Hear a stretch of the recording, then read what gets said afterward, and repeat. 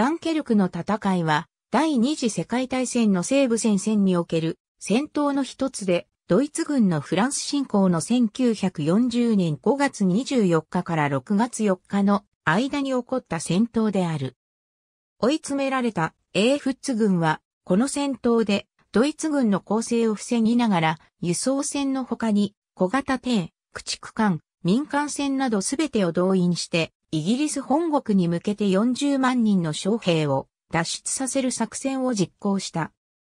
1939年9月1日にポーランドへ侵攻し勝利したドイツ軍は、マヤカシ戦争の期間を経て、1940年5月10日に突如オランダとベルギー、ルクセンブルクに侵攻。これらを破った後の5月17日以降に北、フランスを席巻した。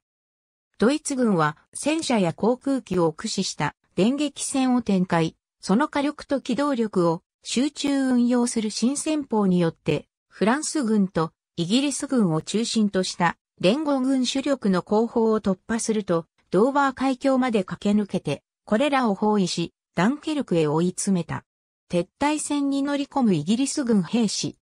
イギリスの首相ウィンストン・チャーチルは、イギリス海外派遣軍とフランス軍約35万人をダンケルクから救出することを命じ、イギリス国内から軍艦の他に民間の漁船やヨット、橋家を含むあらゆる船舶を総動員した撤退作戦が発動された。その一方、ブレストに在泊していた強力なフランス艦隊は混乱の中で何もしようとしなかった。ドイツ軍はアラスの戦いでの連合軍の反撃を近く行われる連合軍の本格的な反攻作戦の短所と誤認し、酷使した飛行部隊の温存を図り、また空軍大臣ヘルマン・ゲーリングの体現相互もあって、ドイツ空軍による攻撃でこれを阻止しようとした。しかし、イギリス空軍の活躍と砂浜がクッションとなって爆弾の威力が減衰したことなどもあり、連合軍のほとんどは海からの脱出に成功した。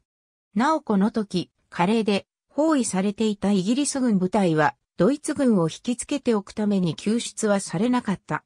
この部隊の犠牲もダイナモ作戦の成功の一因であった。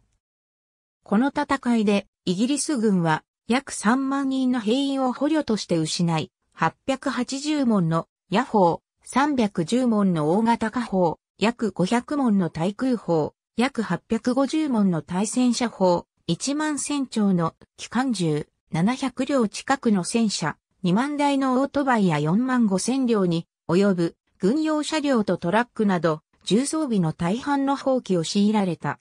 数十万の兵士がほぼ丸腰で帰還、イギリス軍は深刻な兵器不足となる。しかしこの撤退はイギリスにとって人的資源の保全と戦意の維持という意味では大きな成功を収めた。フランス軍はダンケルク撤退以後は雪崩を打ったように崩壊。ドイツ軍は13日、パリ占領。さらに2日後、1916年の戦闘で敗北したドイツ軍因縁の地、ベルダンに進撃。フランスはついに6月21日に講和を申し込み、翌22日、受諾された。漁夫の利を得ようと、フランス降伏の12日前に参戦していたイタリアのベニート・ムッソリーニは死の床の重病人に宣戦布告したと批判されている。ありがとうございます。